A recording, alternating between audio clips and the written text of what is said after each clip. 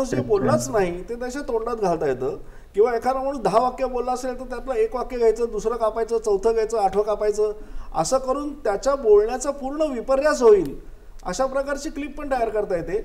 म्हणजे हा सगळा बेजबाबदारपणाचा प्रचंड कळस आहे आणि तो आता कसा थांबणार आहे काही समजत नाही. टेक्नॉलॉजीचा गैरवापर पूर्णपणे करायचा आणि आपल्याला जे हवं साधून यामुळे सामाजिक नुकसान खूप मोठ्या प्रमाणावर होईल याच्यामध्ये असं असं दिसतंय. हा जो समाज माध्यमांचा जो मुद्दा होता मत घडवण्यात किंवा कल झुकवण्यामध्ये याचा काय सध्याचं चित्र आहे त्याचं? आणि आत्ता जे आपण कल बघतोय राज्यामधले खास करून आणि राष्ट्रीय पातळीवरती देखील त्याच्याबद्दल आपली काय प्रतिक्रिया?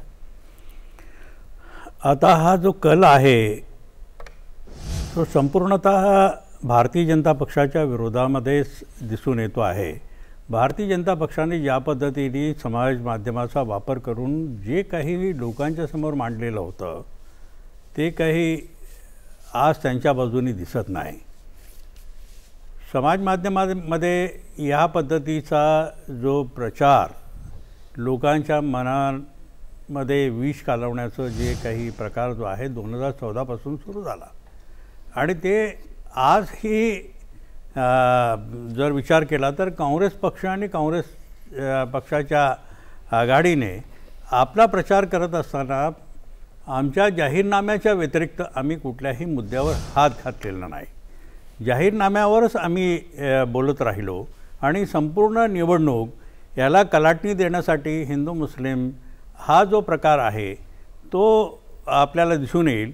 म्हणून मला वाटतं की जे काही सगळ्यांची चिंता आहे की समाज माध्यमालाही कुठेतरी जबाबदार ठरवलं पाहिजे.